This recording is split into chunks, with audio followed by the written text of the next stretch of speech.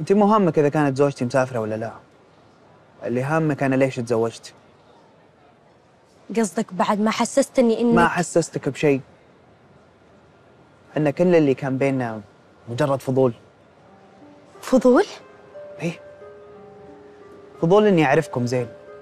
وإنك أنت تعرفين إذا كنت تقدرين تعلقين أي رجال بشباكك.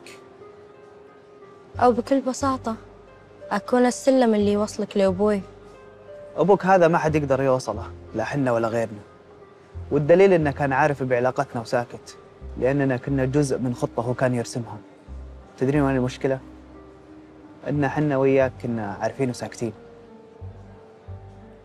إذا كنت تقول هذا الكلام عشان تطمن علي وما تخليني أتضايق فاطمن أنا بخير.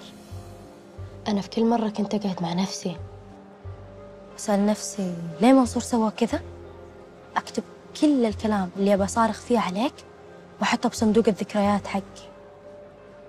شعور طبيعي إني أحس إني انخدعت صح؟ أنا ما كذبت عليك. أنا كنت صادق معك. وزواجك الغريب والمفاجئ اللي قبلها بكم يوم بس كنت معي تحاول تراضيني بأي طريقة.